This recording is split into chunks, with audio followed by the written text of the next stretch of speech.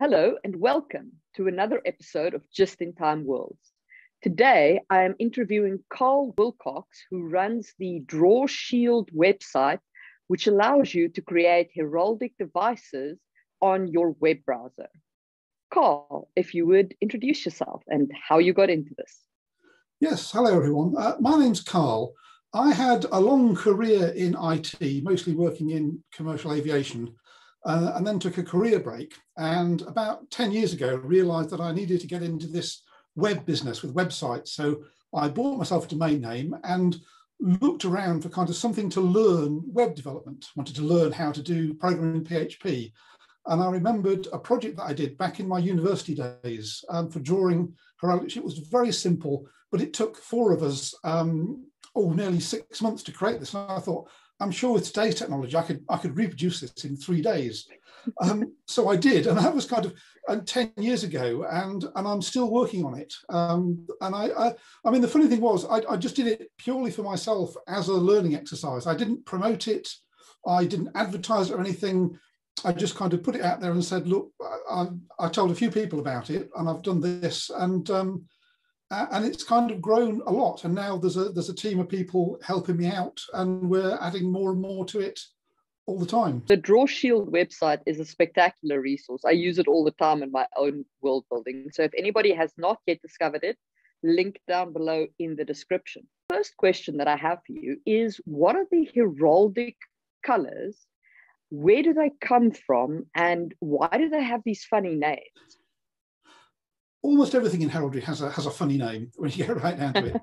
it's it's a herald. The, the, language of blazonry is a sort of strange car crash of of French and Latin and English, um, pronounced strangely. Um, but the the colours uh, come from a, a, long way back in history. What you need to remember is uh, heraldry arose in the late 12th, early 13th century, when there was no such thing as a as a Pantone colour chart or if there was, it would only had about six colors on it.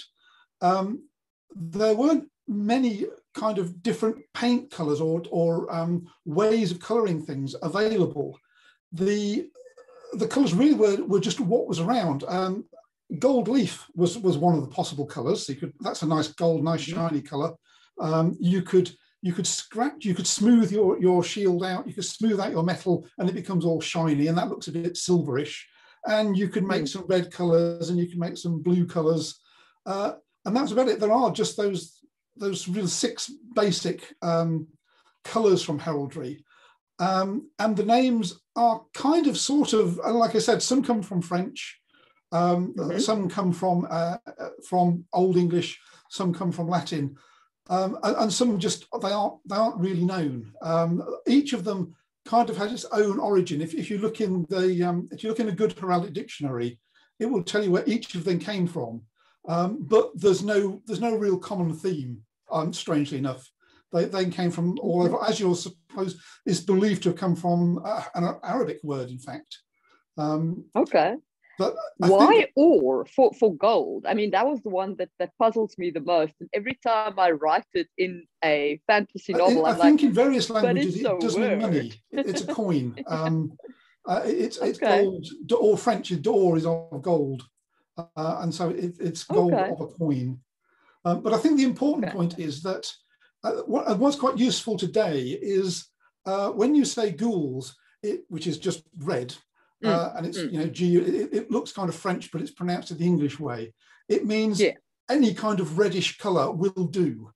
Um, whereas okay. if you kind of say red, you, will somebody you'll immediately turn around and say, well, what's the RGB code? What, what RGB code are you using? and that's not yeah. what Herald is about. Anything that's vaguely red is gules. Anything that's vaguely now, blue is azure, and that's fine. And but, that's but sang, sanguine is quite is also a color in heraldry, and that's it, very close. It is less. You. It is less commonly used, and and of course it means blood, and it also means red, but it's yeah. a it, it's a dark shade of blood. But again, you can't point to a Pantone color and say heraldically that is sanguine and, yeah. and that is gules.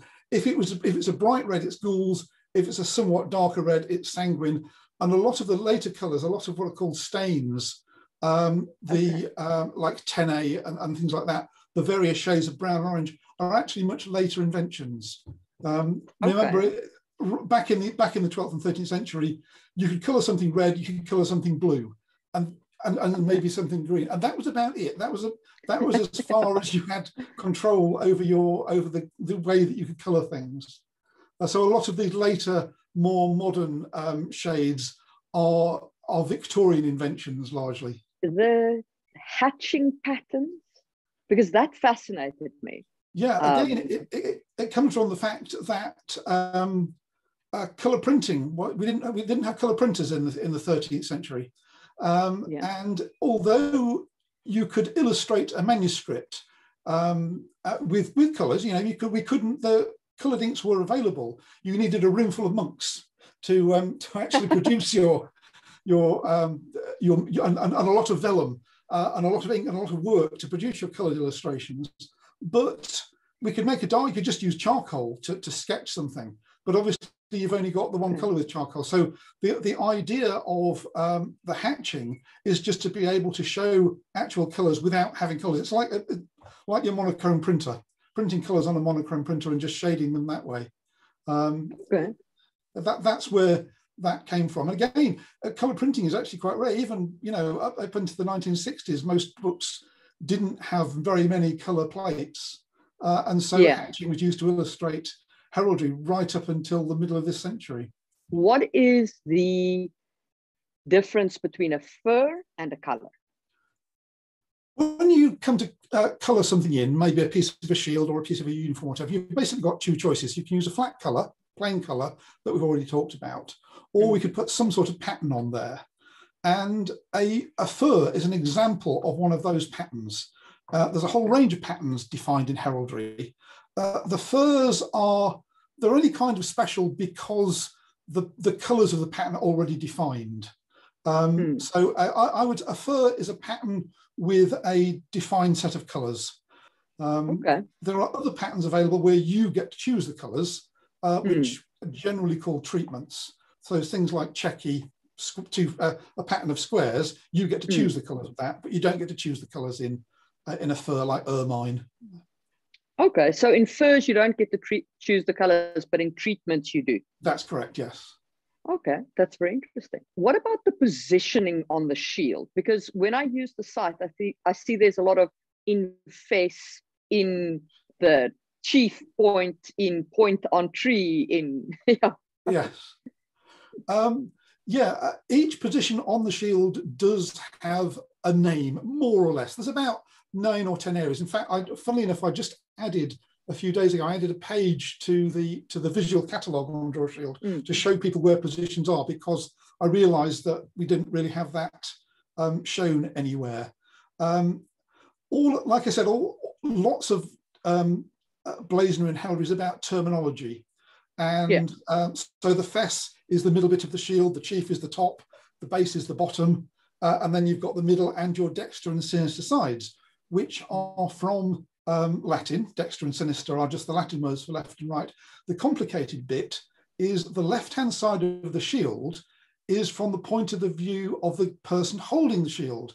So if I'm holding the shield, the sinister side, the left-hand side, is here because it's my left. But when you're looking at it, it's your right. So Dexter and Sinister are reversed on you, which confuses everybody.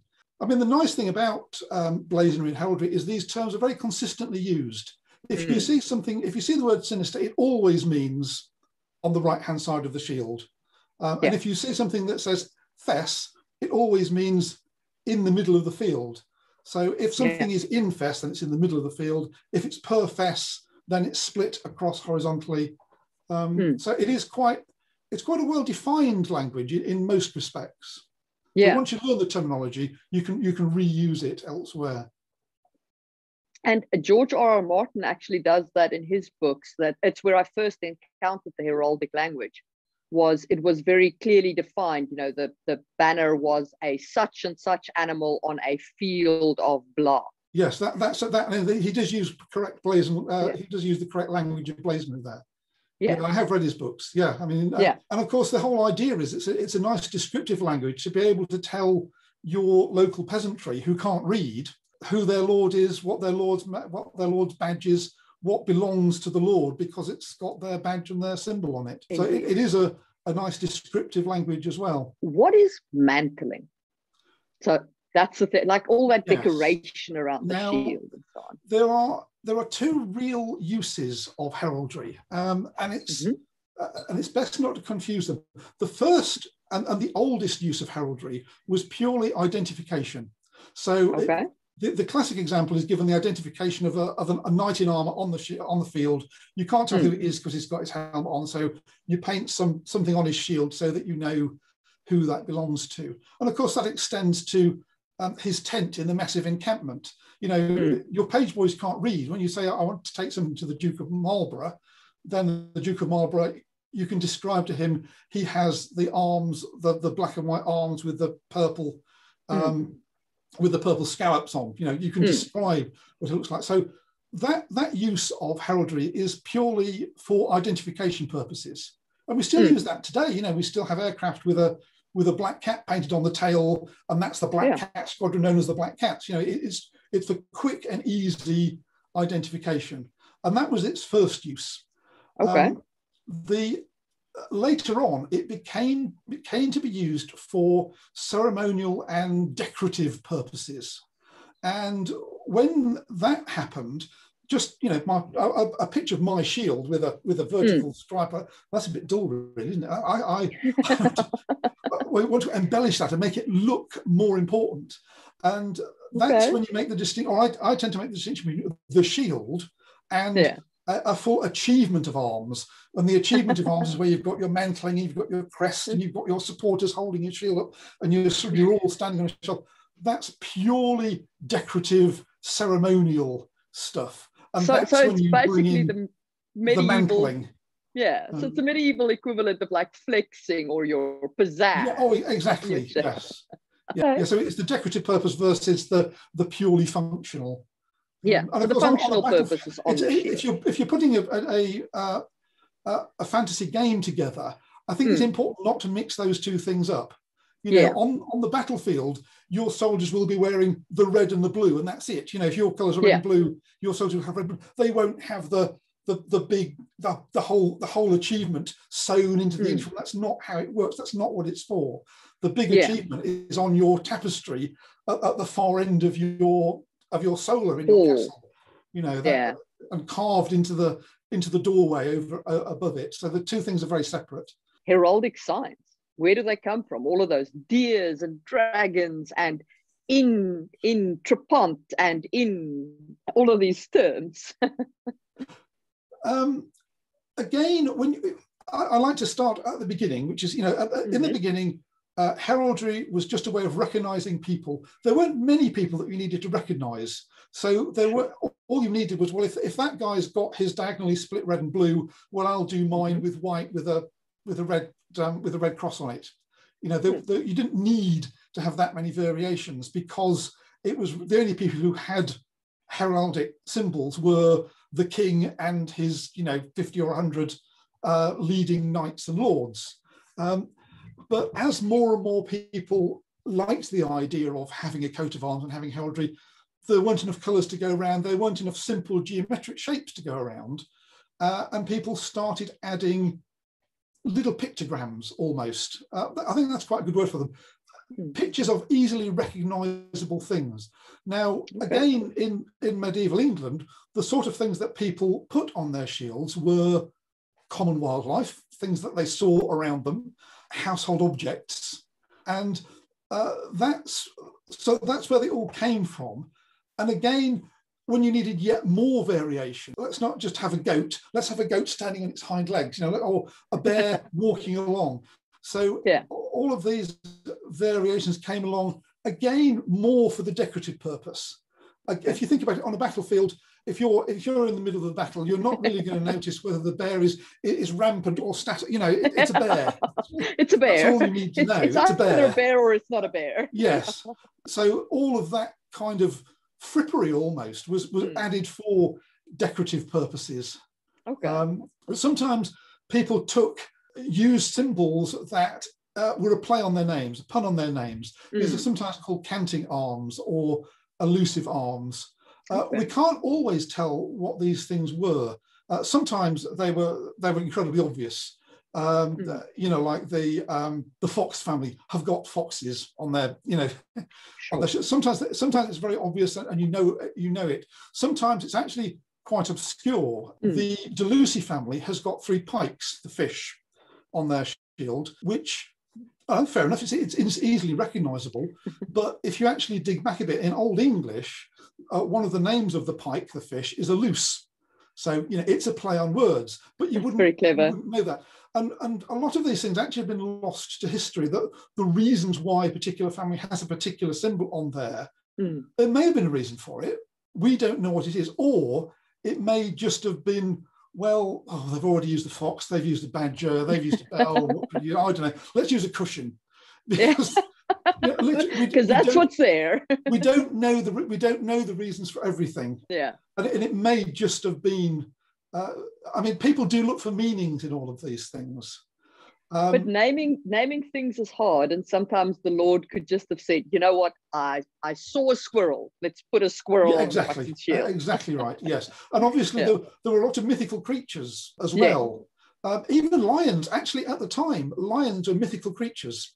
There are lions on the um, on the coat of arms of England from, back from the 12th and 13th century. Yet, if you look at them, if you look at how they're drawn, it's perfectly clear that whoever drew them had never ever seen a lion in their entire life.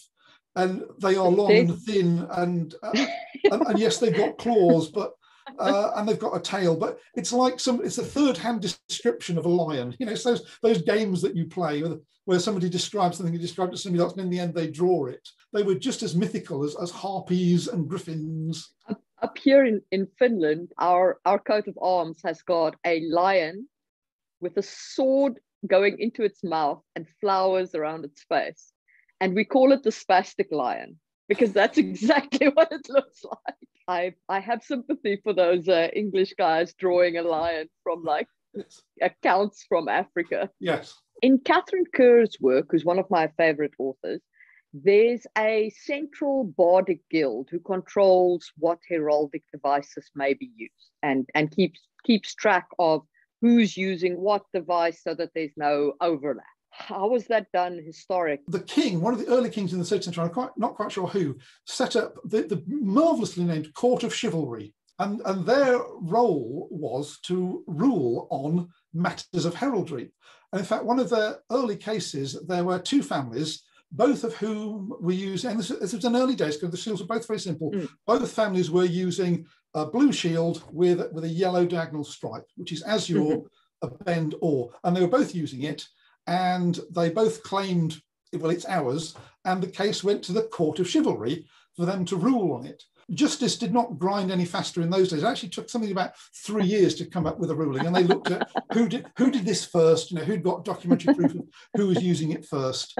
Uh, and eventually, it sounds years, like a copyright out, claim. Yeah, the, the Court of Chivalry ruled that this this particular coat of arms belonged to the Scrope family.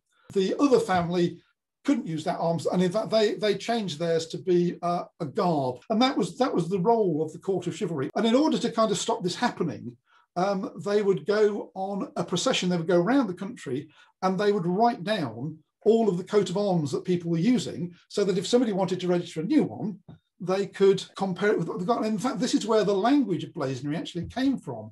Because if yeah. you got to make a, a list of all the all the shields, well, you could you could collect an example of each shield and stick it in your wagon and, and bring your wagon back with all the shields. But that's that's a bit heavy. Or you could you could take your monk with you and get them to draw it, or you could take ladies of the court and get them to embroider. It's all it's all too hard and difficult. So they invented, they created the language of blazonry, all this per fess and and mm. stag's trip and all that stuff, so they could write down a shield description. So there's somebody came up to them and said, "I've done some service for the Queen, and she's made me a lord. I want a coat of arms, and I'm going to use this."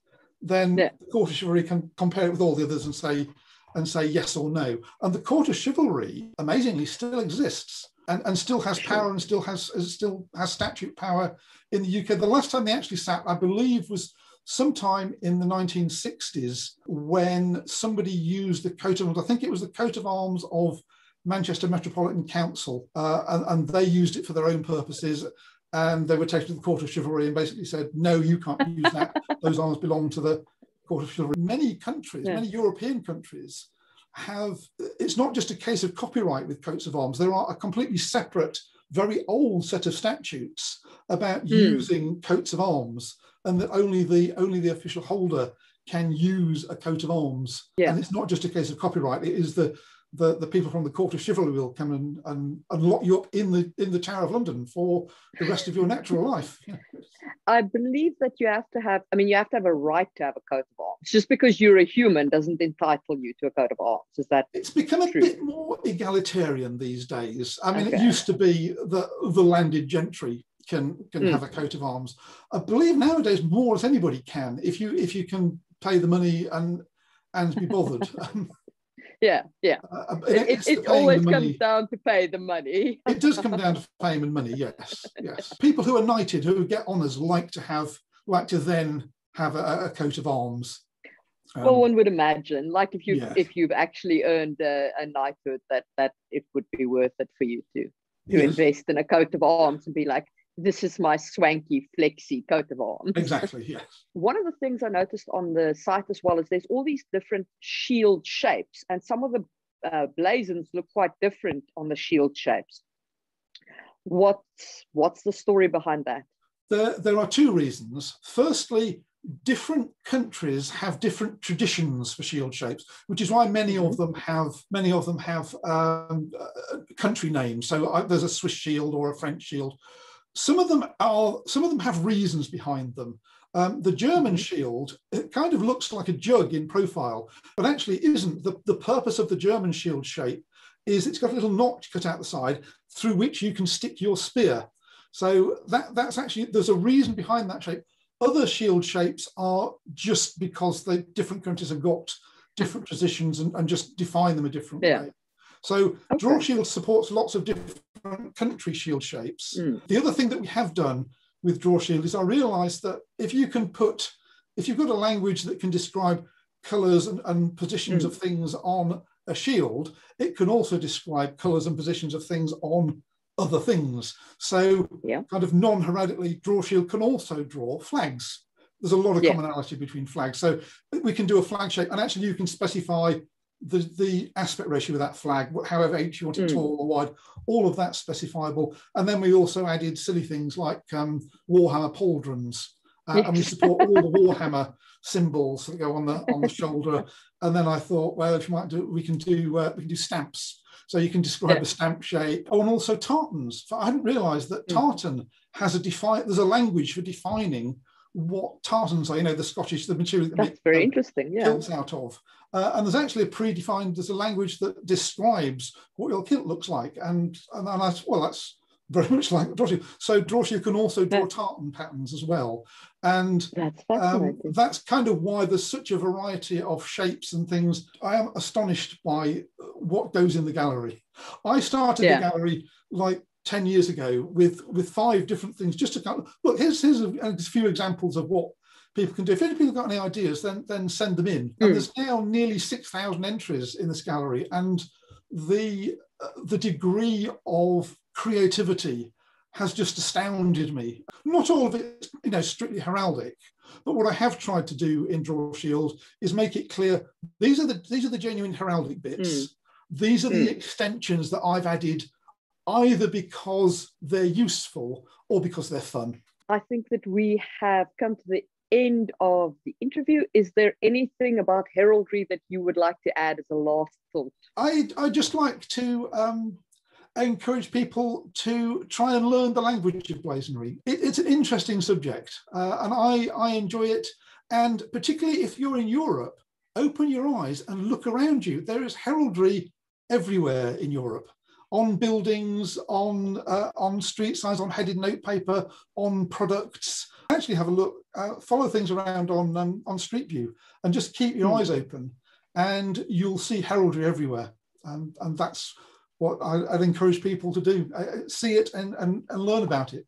and and if you want to learn about it, DrawShield's as good a place as any.